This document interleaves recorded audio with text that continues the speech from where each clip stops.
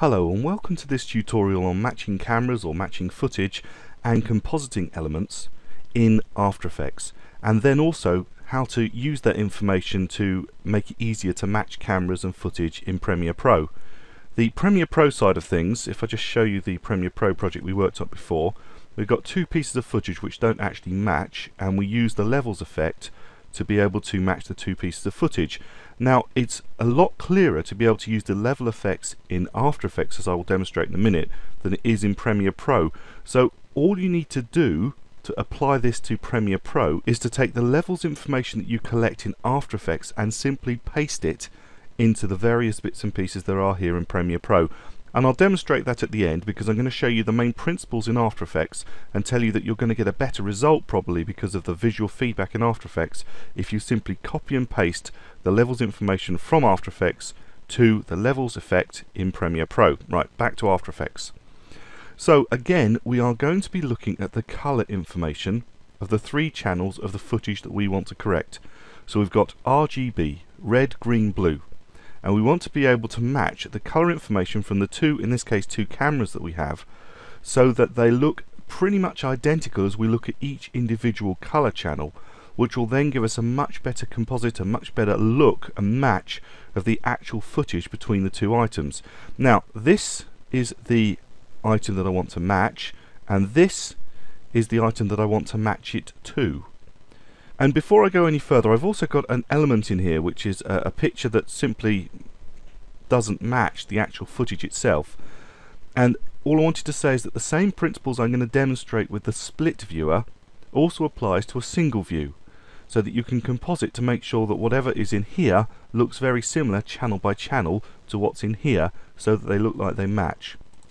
Okay, so firstly I need to see these two composition viewers side by side now there is a keyboard shortcut to do this, whether you remember how to do that or not, which is Control Alt Shift N or Command Option Shift N.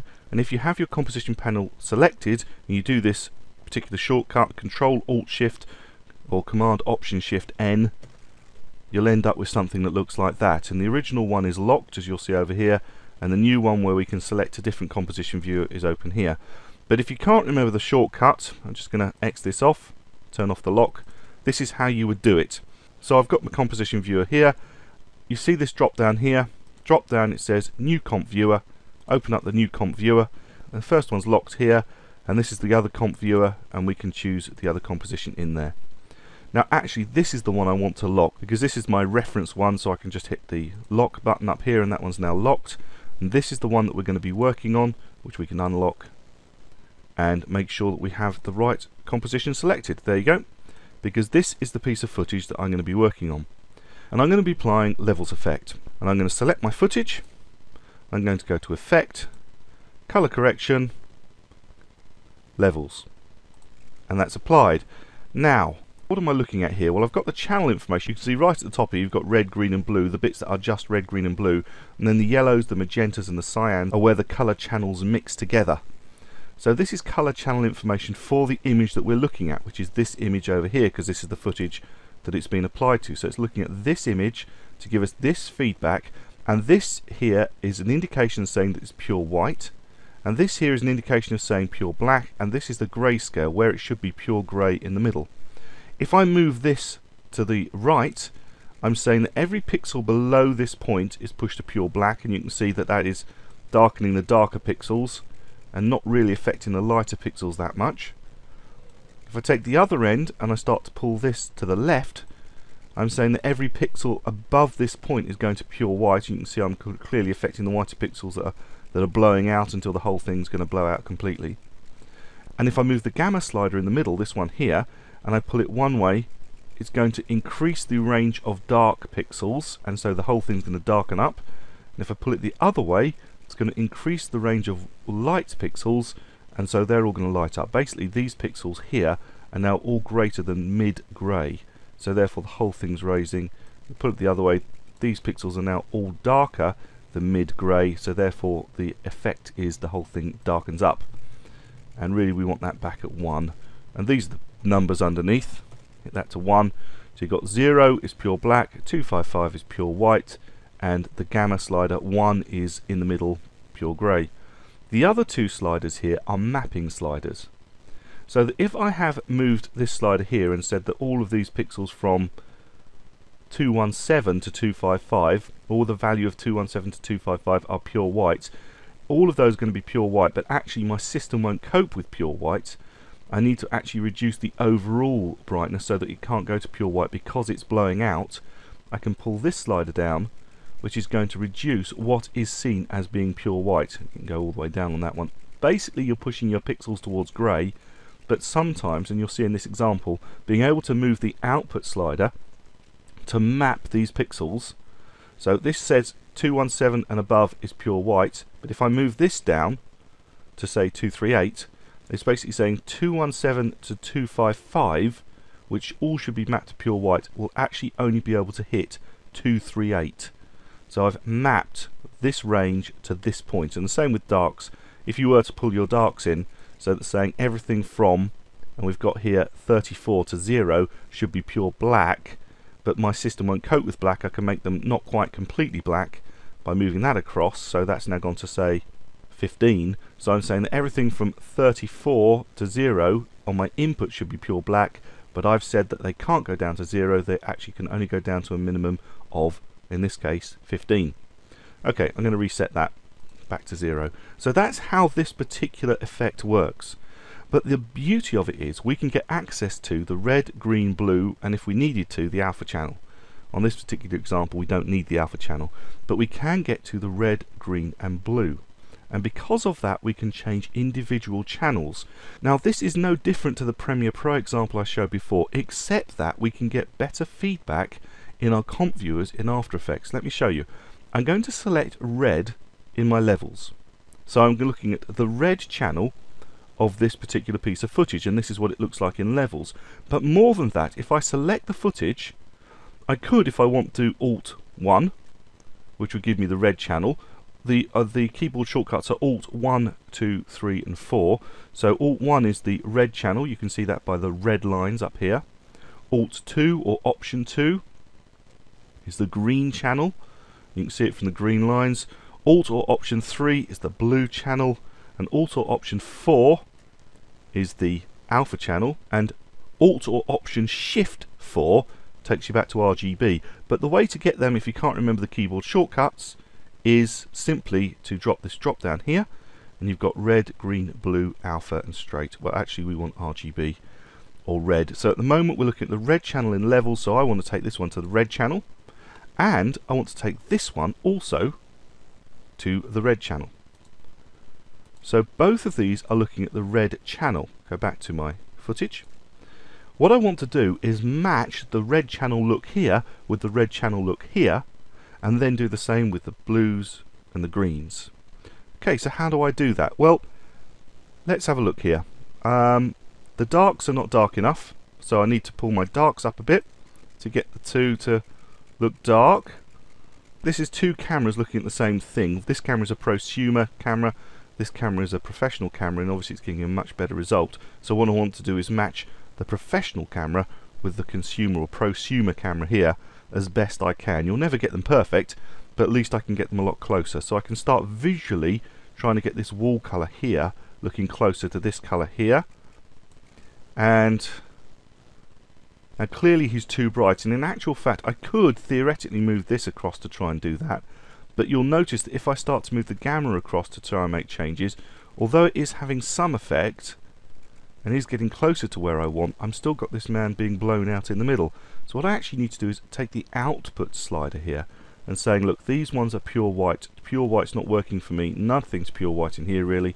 So I need to pull down the output white slider to try and get rid of some of this excessive blown outness. Now they're beginning to look a little bit closer. Might just do a little bit more on that one. So you get the idea, you kind of move across channel by channel to try and match how they're looking. Pull that down even more on that side. And then what you do is you go from red, and I'm only doing this very quickly, I might spend a bit longer on it in reality. Green, then make sure this one is in green, make sure this one is in green, and the visual feedback is superb. That's clearly green, and these two are clearly green. So the green channels, how are they looking? Now again, this is definitely too light, and I've got to have to pull down the output slider a bit again. And that's just greying the whole thing up for me really, so I'm going to pull the black slider up a bit that's definitely bringing back in a bit more contrast.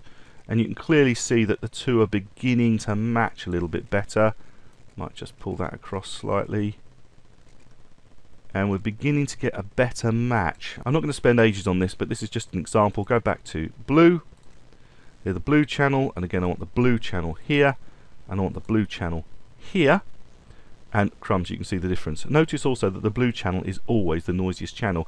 This here is the more professional camera and this is the more prosumer camera and just look at the noise difference in the two. This is much much noisier but that's just the nature of the beast. The more you spend the better results you get basically with your cameras.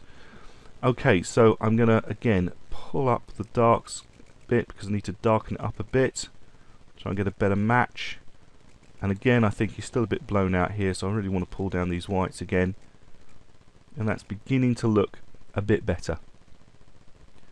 Okay, so I've tried to match the three. Now I can go back to RGB, the keyboard shortcut if you want to use a keyboard shortcut, Alt Shift 4. I'm just going to go back to RGB, so that's the original. And that's our altered footage. It's not perfect, but let's just turn levels on and off and see what it looked like before and after. Before and after. Before and after. Now I'd have spent longer doing that, but for this example this just shows you how you can use this wonderful feedback in After Effects to actually see the individual colour channels and try and match those colour channels. And this red channel has definitely got a problem. Now just be careful because at this stage I'd be very tempted to leap back into my levels, but actually I'm still at blue. So be very careful that you're on the right channel before you start jumping in and changing things. So I might pull that down to darken up a bit more might want to pull that in a bit more. Maybe just move my gamma slider across slightly.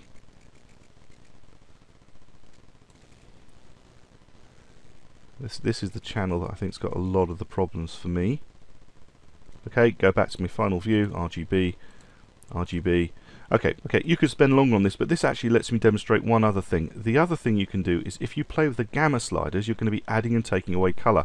So if I move this gamma slider in the middle, I'm going to be adding more red in and if I move it the other way I'm going to be adding more blues in and actually you can then come to the final RGB and go between the channels green adding more green magenta the other way and you can actually use your eyes now to finish it off if you haven't got the perfect result again we're adding blue if we go one way taking we're adding green if we go the other way we want less green and we're getting closer and closer. And so it's, it's a push-pull process. It's definitely a push-pull process of going through the whole thing and trying to make it work.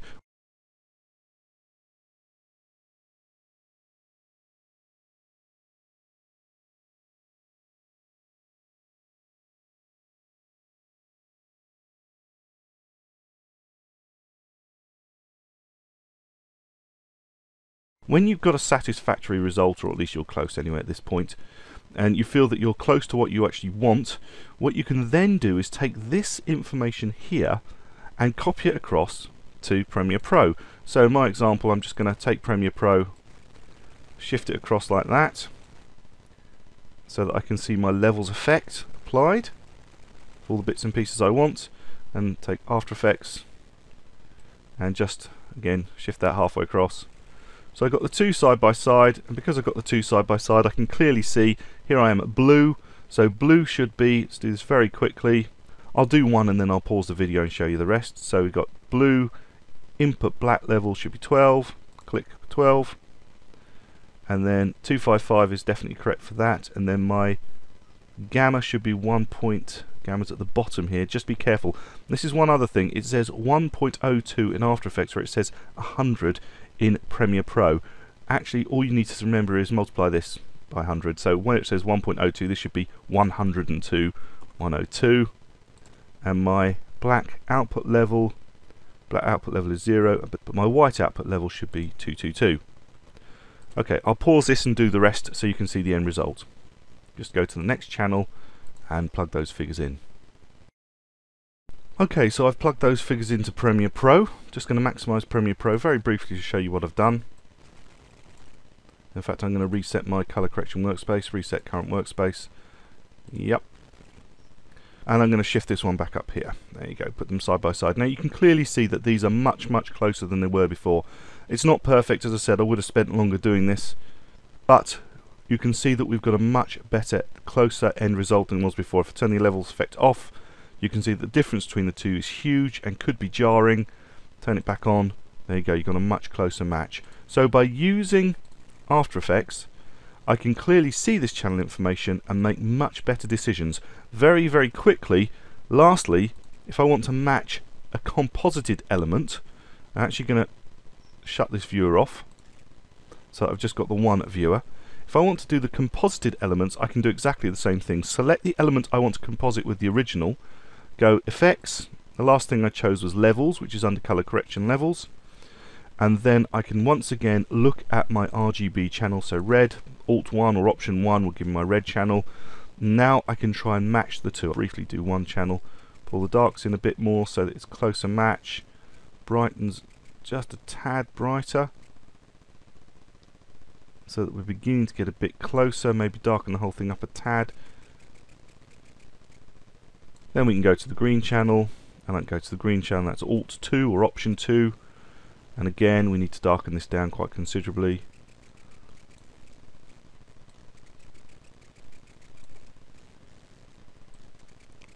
Perhaps you've got some real whites, and I just move the whites up a tad.